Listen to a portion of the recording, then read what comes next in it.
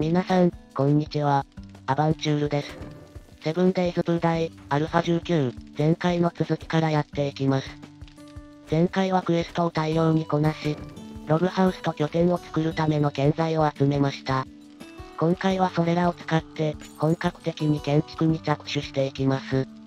と言いつつ動画の方は、拠点内で何やら、忙しそうに右往左往していますが、次のフェラルホードで大量に使う鉄ダーツと連鉄を、増産しているところです。次回フェラルまではあの豆腐拠点を回収して、シンプルに迎え撃つ方向で進めていきます。というのも、前回で建材を集めたとはいえ、迎撃拠点を新たに作るには、全く足りていないからです。本音を言えば次回フェラルで新しい拠点を、試してみたかったのですが、既存の拠点を強化するのも、それはそれで楽しいので、プラス思考でいきたいと思います。配線リレーや照明など、使う機械の多い電気設備も、今のうちに生産しておきましょう。あと、切り妻型ブロックを使って、簡単な車止めを作ってみました。普段はあまり日の目を見ない切り妻ブロックも、こういった変わった使い方もできるので、割と気に入ってます。植林場の木が最大まで成長していたので、ついでに伐採しておきます。植林に使う木の実は、松ぼっくりがおすすめです。松の木は多くの木よりもグラボへの負荷が少なく、葉っぱが高い位置に生えるので、景観も損ないません。逆に言えば、干渉するには少々見た目が寂しいので、街道の脇に植えるなどの場合は、多くを選ぶのもありです。拠点近くの建築現場の資材を回収するついでに、ゾンクマをハンティングしてみます。このホラー穴の奥にどっしり待ち構えてるんですよね。いわゆる初見殺しです。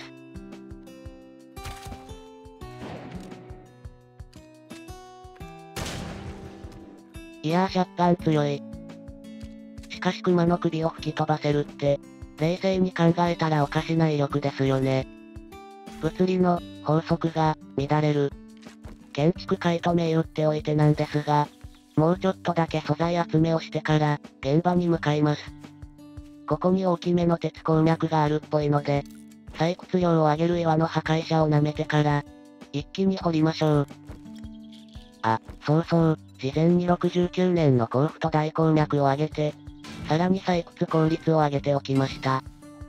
ツルハシでバンバン掘っていきます。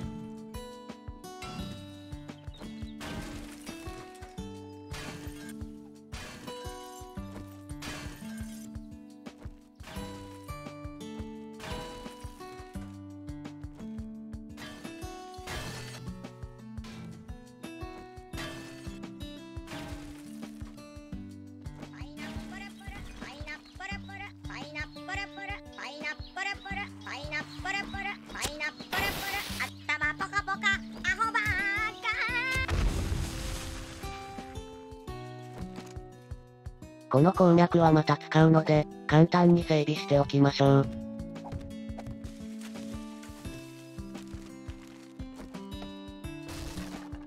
OK。はい、やっとコサログハウス建設現場に着きました。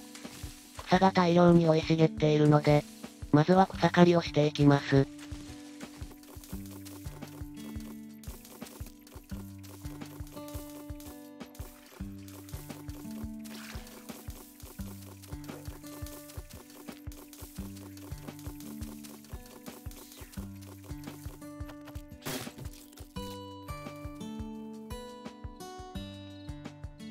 刈りが終わりました。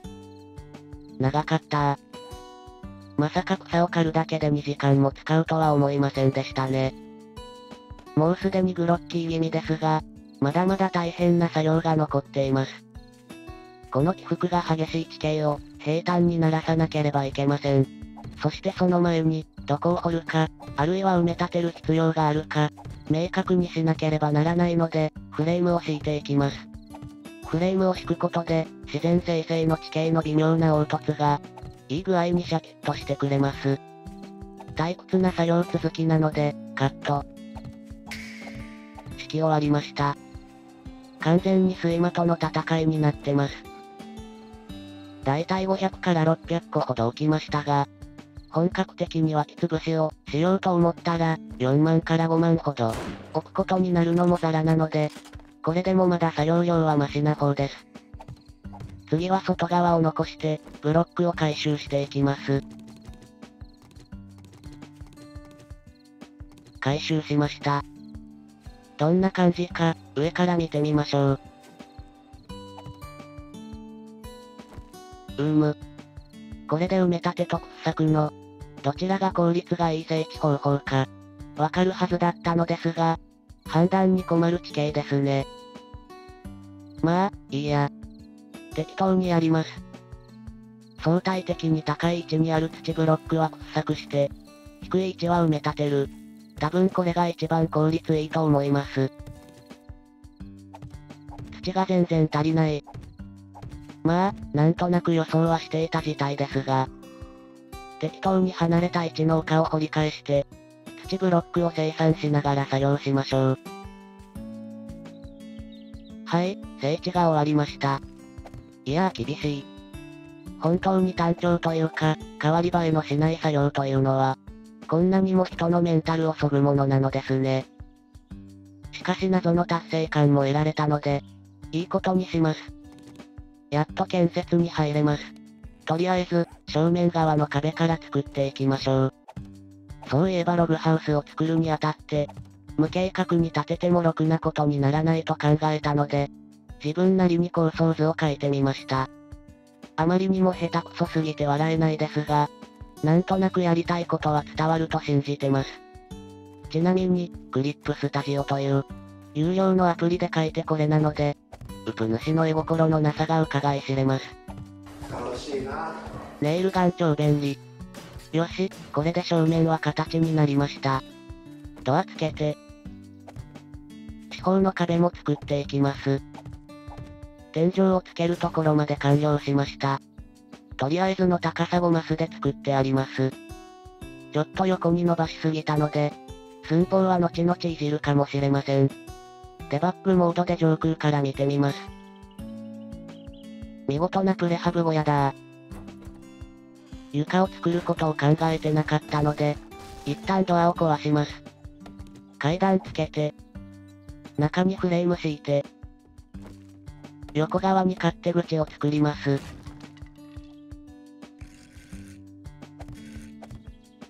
エントランスにカウンターを作ります。なんかログハウスというより、民宿みたいになってきてますが、気にしてはいけません。階段で2階に登れるようにしました。とりあえずのベランダもつけます。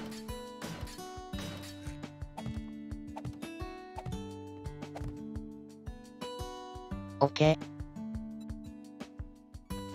正面のドアをつけて、作業は終わりでいいかな。慣れない作業をしたせいで、どっと疲れました。サブデータでクエストと探索ばっかり。やっていたツケですね。でも、こういう普段やらない作業をやったことで、いい刺激が得られたので、良かったです。セブンデイズってこういうゲームだったんだなログハウスの西方面は丘になっているのですが、見晴らしを良くしたいので、木を間引きます。とりあえずこの一帯の木は全部切り倒します。大体切ったので、丘の上の方に多くを植えていきます。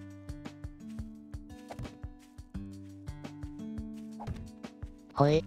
次の作業時に木材が足りるように、近くに植林場も作りました。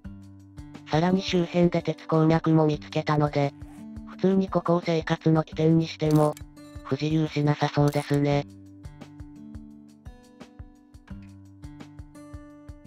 一旦拠点に戻ってきましたが、周辺で爆発音がしたと思ったら、またお散歩が来てました。マツコがやたらと多いです。こんなハーレムは嫌だな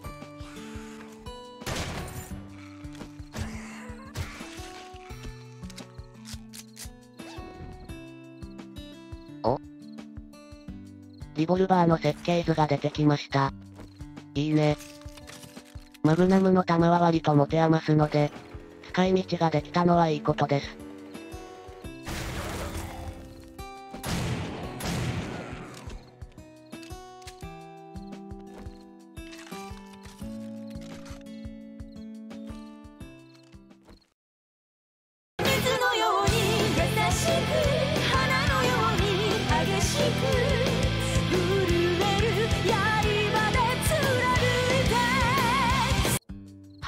真面目にやります。建設ついでに、庭先にお花畑を作ります。まあ、あまり工作区画を用意できていないので、ミニチュアサイズですが、バニラの場合、菊より綿花の方が色合いがいいのですが、綿花の種子のレシピを開放できていないので、とりあえず秋のキリン草と菊を植えときます。十字型にしてるのはなんとなくです。右側には、食料になる作物を植えます。コーンを植えたいですが、これもレシピ開放できていないので、持っている種を植えておきます。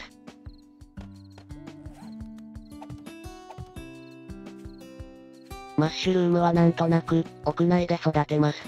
ジメジメしてた方が、キノコ的には良さそうなので、丸太を使って原木栽培。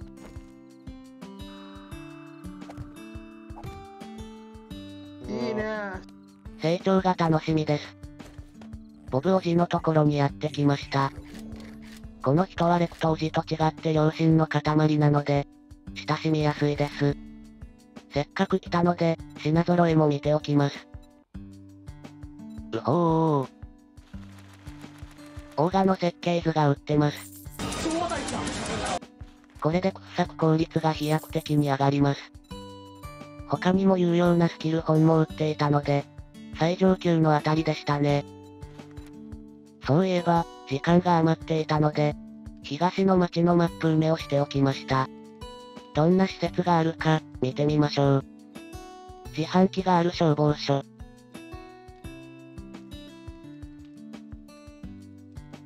本棚が厚い教会。巨大イノシシがいる養豚場。学校。プール付きのペンション。ワンコハウス。刑務所。近くに裁判所。ゾンクマがいる違法クラブ。ショットガンメシアシャムウェイ工場。複合商業施設。面白そうな建物は以上でした。しかし、改めて見るとかなり大きい街ですね。トレーダーハウスが3つあるのも納得です。さて、今回はログハウスの建設に着手しました。次回は拠点を回収して、フェラルに臨みたいと思います。それではまた。バイバイ。